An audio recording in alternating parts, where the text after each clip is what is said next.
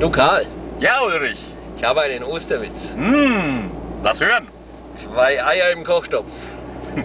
Sagt das eine Ei zum anderen. Das ist verdammt heiß hier.